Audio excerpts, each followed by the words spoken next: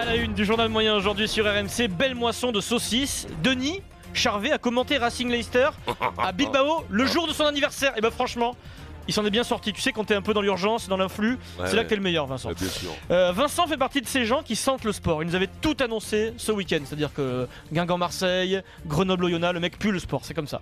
Et puis les valeurs du rugby et apostrophe si on a le temps. C'est complet aujourd'hui, les amis. Vous êtes prêts? T'es prêt, Allez, on y Vincent. Ouais, ouais, Vous écoutez RMC, c'est le 370e journal moyen de l'histoire du Super Moscato Show. En direct de la rédaction du Super Moscato Show. Alors. c'est le journal moyen. Eric. Eric Dimeco, tu n'avais pas la chance d'être avec nous euh, vendredi, c'est ça Eh hein, non, Vendredi. non. Le duo Dorian-Moscato était euh, légèrement fatigué euh, au début de la deuxième heure du Moscato Show. Il est 17h. Pierrot, c'est son métier. Il fait ça depuis 15 ans. Il doit lancer les informations. 17h. RMC. Le Super Moscato Mmh. Show continue avec la finale de la Coupe d'Europe de rugby. Leinster Racing. Que manque-t-il au, au Racing Mmh. pour euh, tout simplement se faire, faire le- se lever les foules N'importe quoi. Voilà. Il est 17h sur RMC. Et vous entendez derrière Vincent Problème- il, il- il se marre. J'ai continué une phrase qui était finie. Eh oui. Eh oui, C'est ça, le c'est ça, problème. oui, oui, oui. Ça, quand pas. même, mec, un petit pocagne, drôle. T'entends. Eric dans l'extrait Vincent est content. Il Il- rigole il Vincent. jubile Oui, il se Oui, moque. mais- Sauf que. Jubile, oui. Sauf qu'il est 17h05, 5 minutes plus tard, Vincent lance la deuxième heure de sa propre émission. Allez, on y revient, on mastique dans le Super Mmh. Moscato Show. On est sur RMC, bien entendu. Si vous êtes sur les routes de France, vous partez en week-end, écoutez-nous, bien entendu, sur euh, 103 points machin. Enfin, voilà. Vous voyez. ah merde, je me suis emballé là. Je, je savais qu'il allait manquer un truc. 103 points machin, les mecs ont cherché dans leur bagnole, ils n'ont pas trouvé. Hein. 103 points machin, bon voilà. Et surtout qu'il y a des endroits où c'est 104 points machin. Ouais, ouais, Oui, 92-3 quoi. oui, oui, c'est. Tu sais, c'est quand tu- Ouais. tu lances le truc, tu sais que là, ça va être Ah un ouais. pro. Fatigué Pierrot et Moscato là, euh, vendredi. Envie de partir ouais, en week-end, l'appel ouais, de l'apéro, c'est c'est certainement ouais, ça. Et puis vendredi, tu n'étais pas là dans le Kikadi également, Eric. Alors question BFM TV. La bonne réponse c'est Olivier Besancenot. Euh, je donne un- Facile. je donne comme un, un indice. C'est un politique à gauche de la gauche. Denis, première tentative, Denis. Coaliser les colères. Ah si, c'est Moscovici. Oui, oui, oui, ici. Non, c'est pas Pierre Moscovici, mais on est, on est à gauche. On À est à gauche, gauche. Voilà. Bon, là, ça non, va, là. mais encore plus à gauche que Mélenchon, Philippot. peut-être. Oui, Philippot. Oui, Voilà, Florian Philippot. c'est- c'est- C'est pas vraiment à gauche. euh, voilà. Donc du coup, je, je répète l'indice. Je dis c'est plus à gauche que Mélenchon. Comment il s'appelle, ah oui, mais Ménard. Robert Ménard, bien sûr. Ah, C'est sûr que De plus en plus à Voilà. gauche, oui, en effet, oui. Tu sais, à force d'aller à gauche, tu finis par la droite. c'est ce qu'on appelle si la tu tournes en reco- rond. Mais C'est ça, c'est Voilà, ça. c'est Plus comme tu le- vas à le l'extrême, plus tu vas arriver sur l'extrême droite derrière. Voilà. C'est sûr, au bout d'un moment, ça, va, ça va revenir. C'est ce qu'on appelle la fameuse recomposition politique. C'était à la mode, ça, Vincent, en ce moment. Florian Vautrin, sur RMC, à Nice, présentation de Nice-Caen. Il y a ce qu'on appelle des remous en interne, remous politiques à Caen.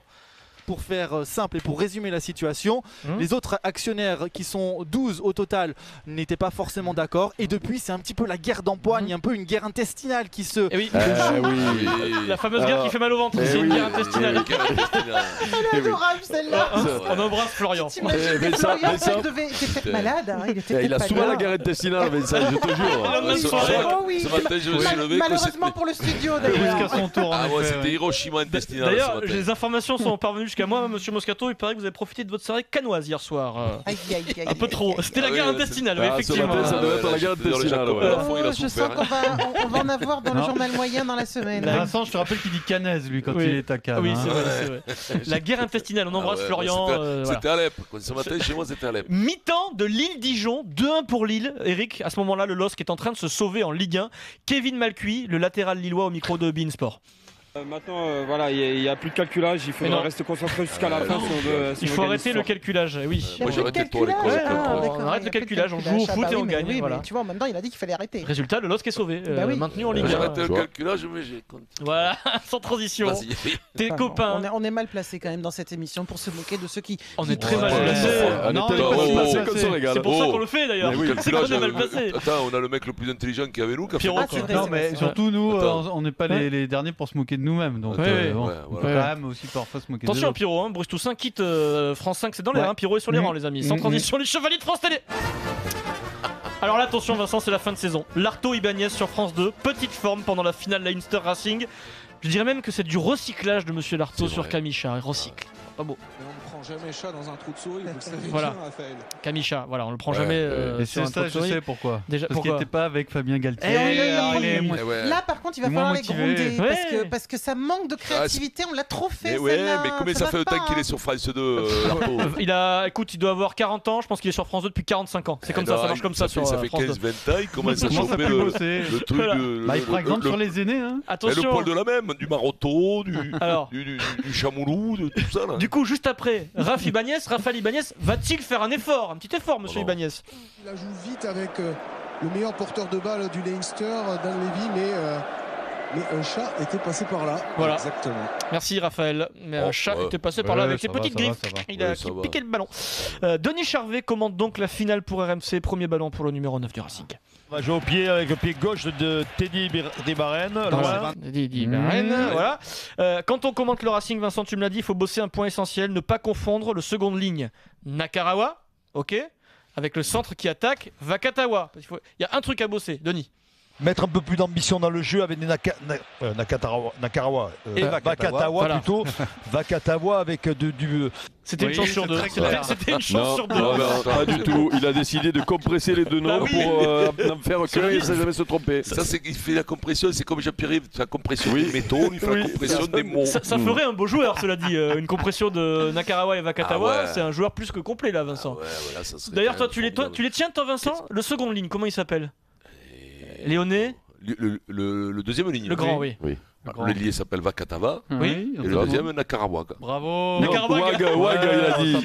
Il a glissé à la fin. Nakarawag, il a dit. Franchement, s'il dit Nakarawak dans le Kikadi, tu l'acceptes. Écoute-moi, tu sais que ce gars-là, quand même, il a été champion du monde, enfin champion olympique à, à 7. hein. Il joue deuxième Oui. ligne. hein. Oui, Deuxième avec les ligne. Fidji, tout à fait. je veux dire, pour, Ouais. moi, c'est impressionnant pas qu'il y qu'un deuxième ligne.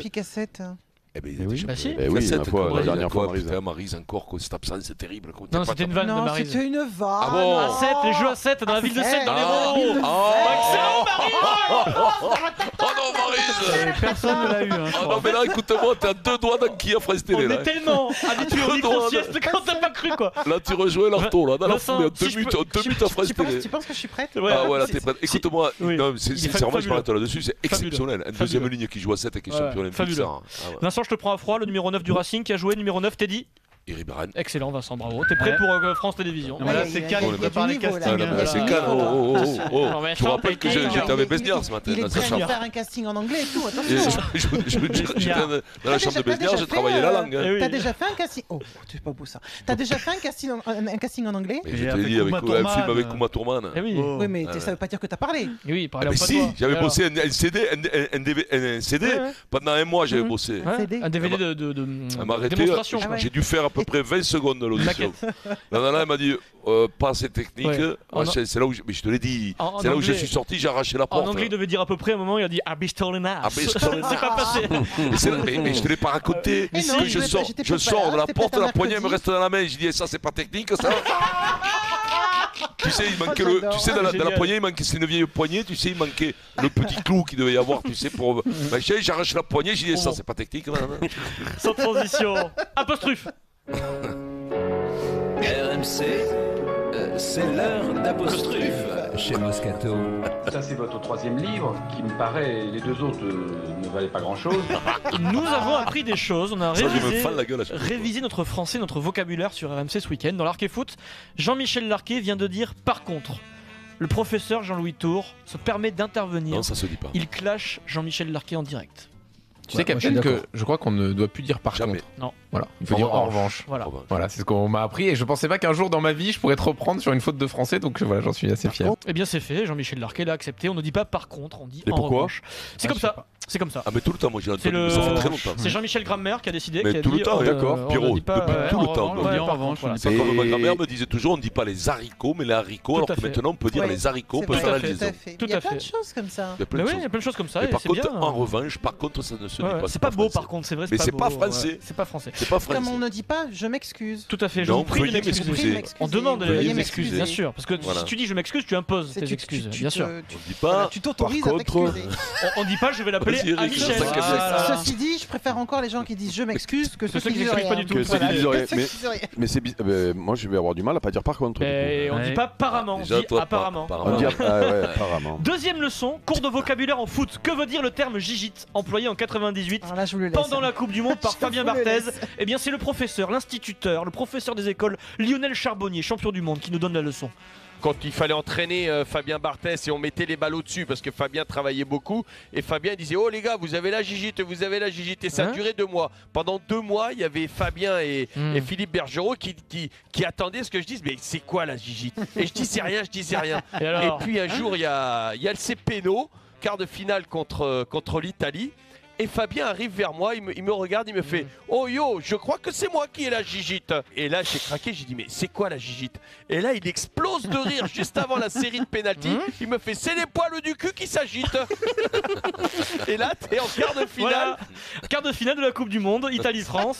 ça veut dire avoir un peu peur. Et voilà, c'est comme ça. c'est- C'était sa force à Fabien aussi. hein. Exactement. Ah, ouais, Capable ouais, de dédramatiser tout, non? Ah Événement. ouais, non, mais il- lui, alors s'il y a bien un mec qui prenait jamais la pression, Ah bah ouais, c'était c'est dingue, c'est dingue. Team Dugas, 18h, événement, Sûr Fabien Barthez, Ah bah oui, champion du monde, champion d'Europe, invité de Christophe Dugarry à 18h, c'est exceptionnel, messieurs. Bah, et il y a- et tu la connais l'anecdote de, de la finale 93 où il s'est endormi dans le bus, il arrive au stade, il avait oublié ses gants.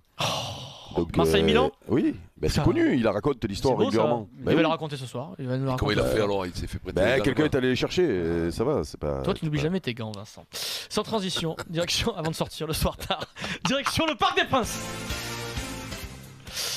Le Paris Saint-Germain a perdu face à Rennes samedi, mais Paris a célébré son titre de champion de France après le match. C'est la magie du foot. Discours d'Unai Emery devant tout le Parc des Princes, un peu long. Fin du discours, sans prévenir. Unai Emery craque en direct. Allez, allez, allez, PSG Tout seul. Allez, allez, allez, PSG. PSG Allez, allez, allez, PSG Ovation du derrière du Parc des Princes, voilà. Figure-toi que je l'ai entendu plusieurs fois Unai depuis ce matin et que j'entendais aller Béziers. Je Et me disais, non. mais pourquoi il remercie Béziers Unai Emery en- Oh Maryse Ça, c'est une micro-sieste par contre. Non, mais écoute, En allez, revanche, allez Béziers. en Attends, c'est pas si clair que ça quand même. Ah non, non, non, C'est Unai Emery, Dans hein. le contexte, tu comprends. Oui. Ouais. Unai Emery, euh, donc euh, en roue les libre. princes, en plus qui disent allez baiser. ouais. Bah oui. Edinson, Edinson Cavani est resté très longtemps sur la pelouse euh, après la célébration. Vincent, vidéo publiée sur les réseaux sociaux. Cavani, Bonnard, est devenu copain avec le speaker emblématique du Parc des Princes qui s'appelle Michel Montana. Ils sont tous les deux. Vous savez, Montana, c'est lui qui, quand il y a un but, dit but marqué pour le Paris Saint-Germain par le numéro 9.